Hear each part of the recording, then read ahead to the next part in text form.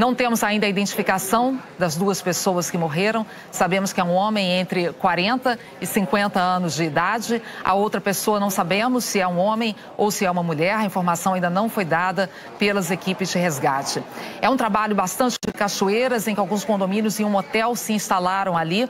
Muitos curiosos já atrás da cachoeira, acompanhando esse trabalho ali em cima das pedras todos certamente torcendo pela recuperação da Marília. Agora o Erisder está aqui de volta. Erisder, está me ouvindo? O que, que você confirmou de informação para gente?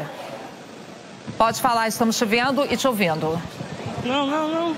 Ele está tentando ainda se comunicar aqui com a gente. Vamos retomar a comunicação já já com o Erisder, ele que foi lá, bem perto do local onde as equipes de resgate trabalham para pegar informações. Ele estava vendo de longe mais um corpo sendo retirado desse avião, mais uma pessoa sendo retirada de lá. E ele foi buscar essas informações para a gente. A gente está retomando a e, infelizmente, nesse momento, eu trago a triste notícia de que os bombeiros acabam de confirmar oficialmente a morte da cantora Marília Mendonça.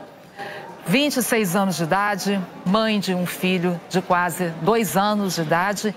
Léo vai fazer dois anos agora em dezembro. Infelizmente, a triste notícia que nós não queríamos trazer aqui